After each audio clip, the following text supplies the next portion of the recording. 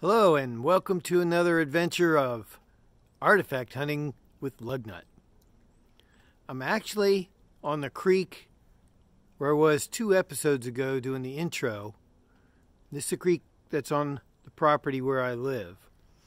And so I thought I'd check out the rock banks that are here. I've been coming up the creek for about, uh, oh, I don't know, three, four hundred yards.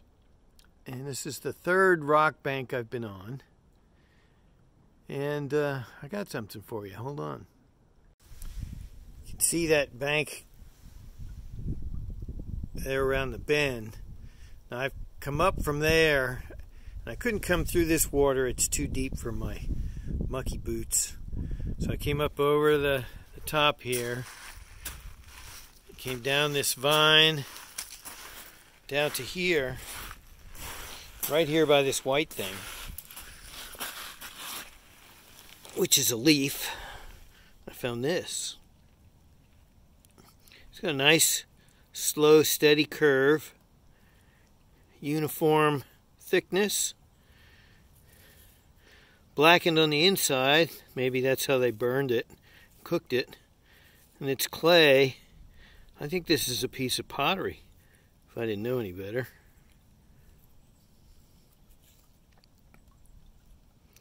That's pretty cool, if indeed that's what it is.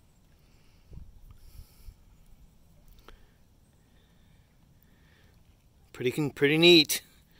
Let's keep looking. So I just started on this particular bank to see what else is here. You can see here the bank is nothing but clay. Now, North Carolina is famous for red clay. And it breaks loose in balls like that and chunks like this that roll around.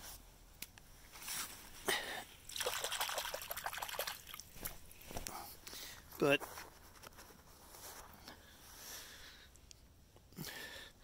the color is not too dissimilar.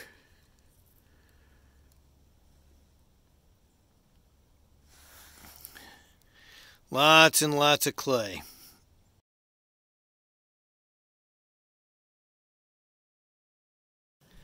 I am just above where I shot the intro about that first point a few weeks back.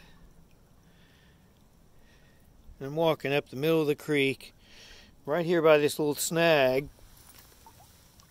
I found this. It's another curved piece it's got lines on one side, see that? it's darker on this side.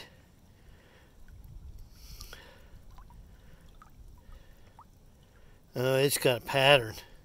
Look at that.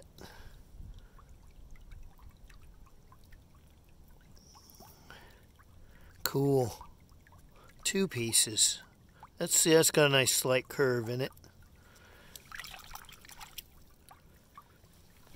See what else we can find.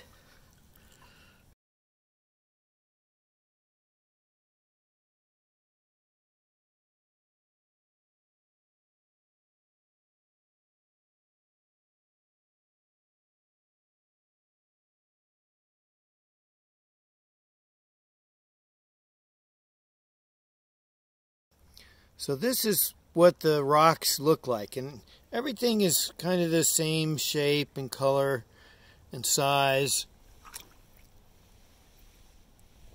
But these are the same thickness. They're bigger, flatter. Look at that. Not that they came from the same pot, but the thickness is virtually identical. That's really cool. Well, that's a wrap. We're getting ready to head back. Thanks for joining us. Come back next time when we go looking for either what's in the gra- under the grass or in the creek. Bye for now.